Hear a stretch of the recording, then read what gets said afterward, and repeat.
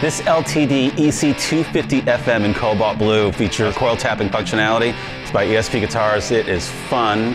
It's a joy to play. It's available here at mooremusicandmooreguitars.com.